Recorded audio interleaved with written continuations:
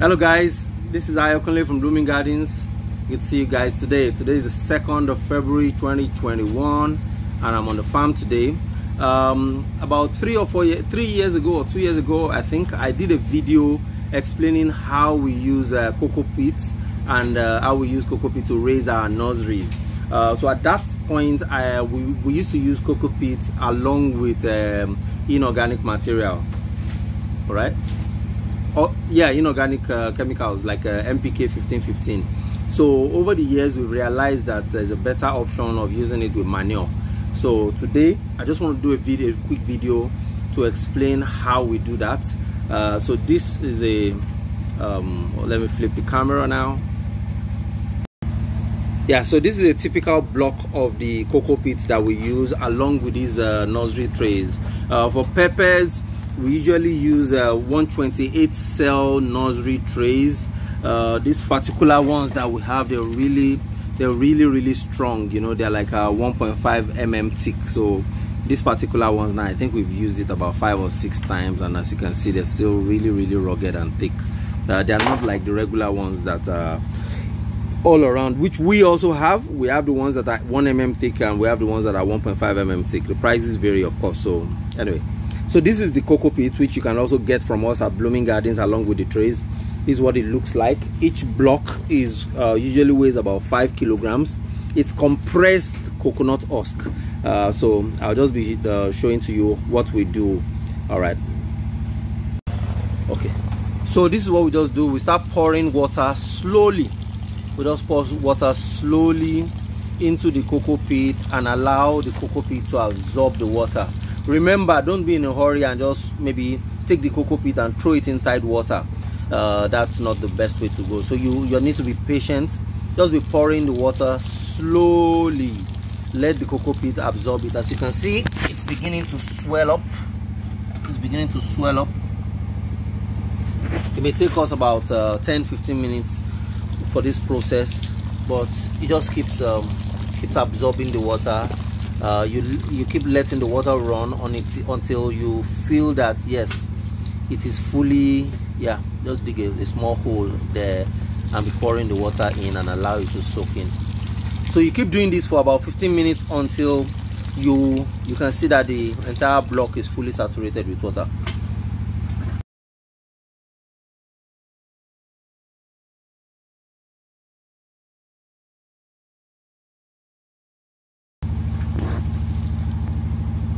okay so we keep putting water as you have seen and the thing has swollen up. Now imagine this is a cocoa bean that we have not started adding water. This was what this looked like before we started adding water. Now see how it has swollen up about two to three times the size. All right so that's that's what you do to get your cocopeat ready.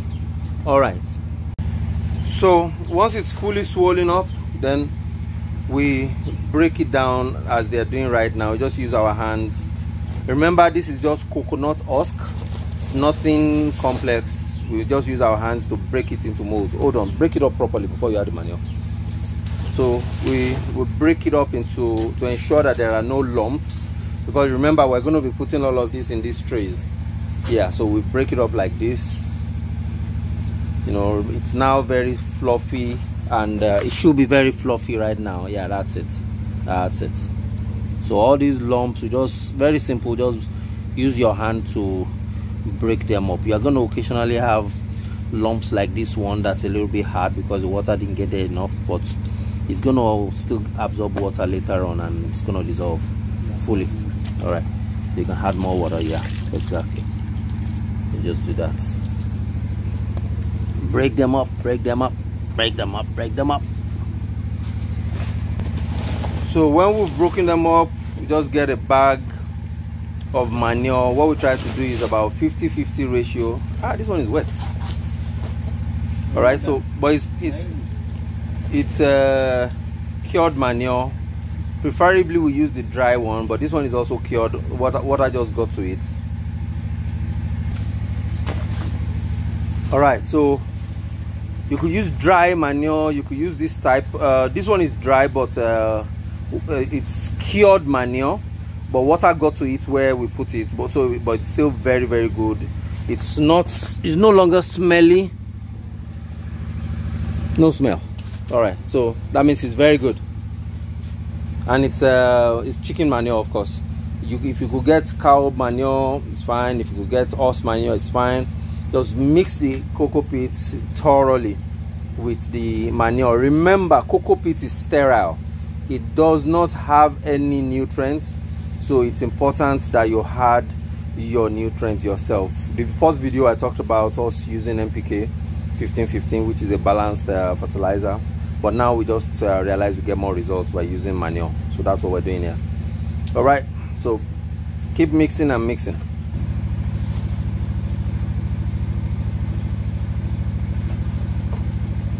yes. They're using their hands to mix shit. Ew. Yoruba says inú gbẹ̀lówó wà. Àbí àfà? Ìgbẹ̀lówó inú gbẹ̀lówó wà yeah. So that's that's how we roll. We'll wash our hands and cleanse cleanse up when we're done. My hands too. I'm not just recording even my hands too are dirty can you see? Yeah. We're in it together okay so the cocopeat has been thoroughly mixed up now with the with the manure and see it's all looking dark because of the manure now.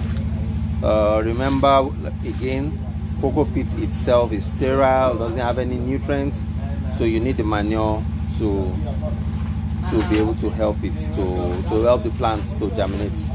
All right so we will start putting the mixture now in the nursery trays these ones and uh, we'll see. Normally when we start doing that um, each tray each uh, cocopeat block with the manure should be able to fill up about 20 trays of the nursery trays uh, and then we start planting. A minimum of 20 trays. So let's see how many we can get out today. So have to put them in the trays this is what we do. We just spread it very thinly. We don't compress it. We just spread it very thinly over each tray.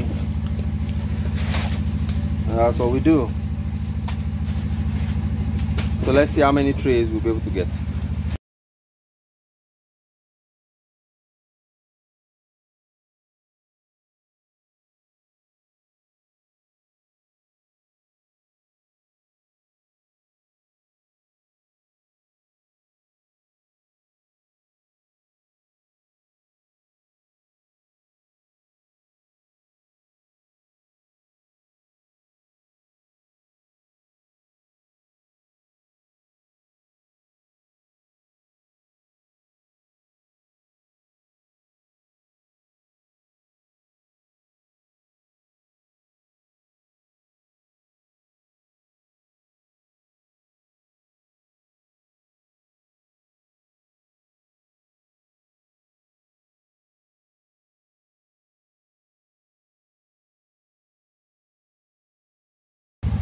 Okay so that's the last one that we are loading up.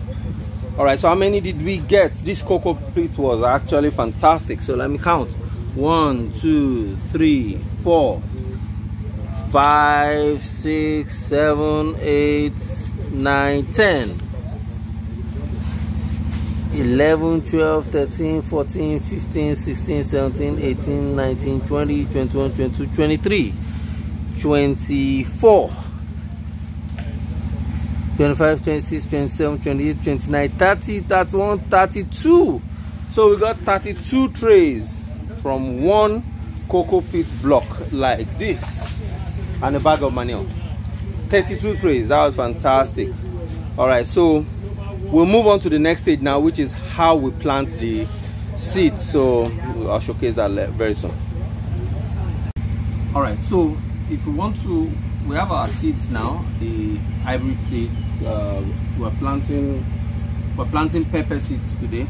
So you just get a little stick like this and after you put your cocoa peat in the tray we just drill a little hole.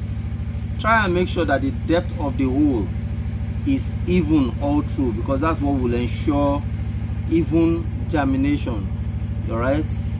Just try and get it in the middle of each hole each plug just do a little hole a little hole that is probably about five centimeter five to ten centimeter deep not too deep maybe something like this deep. You see that? Just like that deep. All right let's do it all in that's that's what we do. Um yep. Just do the holes round. When you're done when you've done all the holes you take your seeds one by one. Yes it's a bit tedious process. Drop it in the holes one after the other. Yep drop it in the hole. Let it fall to the bottom. One after the other. Each seed is very important don't squeeze or I mean squeeze too hard on the seeds the one that doesn't fall in like that just pick it up gently and make sure it falls in. Don't squeeze very hard on the seeds they're quite fragile and they are alive. It's very important you treat them gently to ensure that they stay alive. All right so that's what we do. I'll just finish this line for now and I'll show you how we cover it up. Yeah so there you go.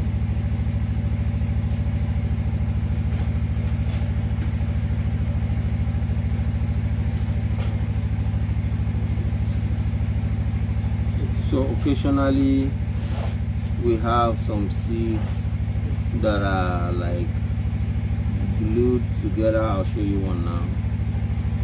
This one doesn't want to fall in yeah.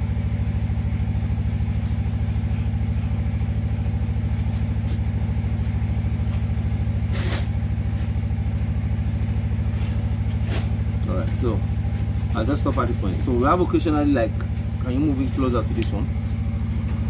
You have some seeds like this. Can you see that? Yes. like this one that are glued together it's two seeds glued together so i just plant them together like that all this all the same. I don't separate them because if trying to separate them you may end up killing the two. So what will eventually happen is that the two of them will germinate if they are both still alive or at worst one of them will germinate. So we just cover them up like this. That's what we do. This one this strand going inside. Yeah, push it in. Push it in. Go. Push it in. This one's already in you know push it in a little cover it up cover it up cover it up cover it up cover up cover up cover up cover up like that. So that's what we just do all the way. The ones that needs a little bit of push inside we'll push it inside and cover. Then the next thing will be the first spray when we're done with all of this. Okay cover them up like that and up stay in stay in my friend. Yeah. Okay so that's what we do. Okay happy. Sir. all right so we're at the final stage now. Start pumping. The final stage now is getting water into the nursery. So we normally use a knapsack sprayer to drench it. So we just give it a generally very good drench the first time and uh, that's what we're doing here. Pump it well. All right. When you want to and this is what we do throughout the entire period that the crops are going to be in the nursery we use a knapsack sprayer to pump. The reason why we do this is to ensure that the water goes in gently and does not make the cocopeat and the manure to compact. Because if you're using like a watering can I think this is enough so you can remove this ones and put the next layer. Oh yeah if you're, if you're using like a watering can which some people do uh, remove this one too. Which some people do yeah go ahead. Um, what, what that does is that it um, the watering can comes out with a lot of pressure of the water and makes the plants to compact all right and that's not very good for the seeds that's not good for the root area of the plant. So you use a gentle spray like this and uh, just do this morning and evening and your plants should be okay all right i'll keep a record of these particular crops and i'll probably show you when they start germinating and also just generally as they as they grow. Uh, these are pepper seeds. This variety are uh, uh, Marvel F1 from East West Seed. All right, so we'll just be showcasing them as they go. All right. So this is me. This is me, Ayokunle again, uh, signing out. Uh, if you like this video or any other videos that you've seen that we've been doing, um, please feel free to like the videos. Uh, click on the subscribe button somewhere somewhere down there. Click on the subscribe button and uh, share the video with your friends. Put a comment down there. Tell us what you like tell us what you don't like. Tell me if you like me that the fact that i don't shave regularly or the way i look on sundays when i'm in my agbada just pass a comment let me know all right so this guy here let me use that opportunity now yeah yeah, yeah come here this guy we call him alpha all right um, a few months ago, when was that? Last year, right? Yeah. Okay, last year, Alpha came. I, I don't know him from Adam. He's now my brother. All right, all right. Uh, he, he, just called me up and said he wanted to come and learn how to farm, and um, I decided to bring him on board. He came to the farm, and he liked what he saw and asked me, "Please, can I just hang around?" I said, "Ah, I don't have a particularly training program." for young people. But he said yes, he'll just learn, he will hang around with his farm, with the farm and the likes. So that's how he, be he became one of us. And uh, for how many months did you stay? Eight months. Wow, he was with us for eight months, learning, learning and learning. And um, we, I provided him accommodation. He stayed on the farm here. Can you imagine? Good guy, graduate, so he's not a lazy Nigerian youth. All right. And he learned as much as he learned, and I was very happy at the end of eight months when he was able to raise some funds and go and start his own farm. I was ecstatic. I was really, really happy for him. So he's back here again to come and just ask a few questions, you know, like Expo. He's writing his own exams now. he's running his own farm. He's doing Ugu. I think he's happy with whatever he's doing. All right, uh, but he just came in today to come and ask a few questions again, some things that is still complex. You want to say a word or just. I mean, what was your experience like when you were here? Ah, uh, okay. Um, I didn't prepare very... him for this video, so that's why he's stuttering. All right. So it was interesting and very okay, but the little challenge is that uh, you just need to leave the paper and the certificate and the lights and do the dirty jobs, and it's, it's actually encouraging anyway and sweet. So, but I actually love every one of us, all the youth out there to come and learn. Learning first. After the learning, then you remove the L, then make you N. So, hey, what's going on? learn first before you N. All so, right, let's go there. So after then, you can start making your cash. But if you don't learn, you you lose the money, the resources, the energy, and the time. Thanks very much. okay, I like that. You learn before you earn. Okay, so Alpha came to learn and now he's earning on his own. So he's employing people. Can you imagine? Just fresh graduates. It is an employer of labor now. There are so many people out there. Uh, they think farming is not for graduates. Farming is not for the educated. We are proving them wrong. All right, we're proving them wrong. And uh, I mean, so okay. So this is my plan this year, and this is a giveaway to anybody out there watching this video, or maybe if you want to share, share this video with anybody. Um, probably kicking off March 1. Kicking off March 1. I would like to do the same thing I did for Alpha for maybe two or three people out there that are interested. But you have to really prove to me that you are interested in learning. Free. I will teach you what I know as much as I know. Free of charge. The same way I gave it, to, I learned, I taught Alpha. I didn't know Alpha from Adam. He just called me. By the way, we call him Alpha. His real name is Idris. All right, Idris Adejumo. All right. So he didn't. I didn't know him from Adam. He just called me out of the blue, saying that he oh he was watching me on YouTube. He wants to come and learn. So now I am not waiting for you to call me. I'm reaching out. Two or three people, young guy, below 35, committed, want to come and learn. I will provide the same thing I provided for Alpha. I'll provide accommodation for you. You provide your own food.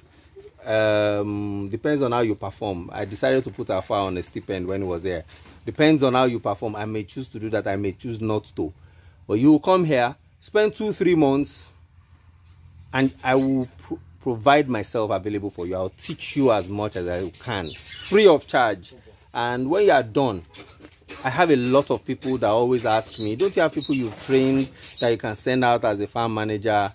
if there are opportunities like that and you have proven yourself over that period of course that means job provided for you or you want to go and set up your farm i will help you as much as i can just the same way i helped alpha.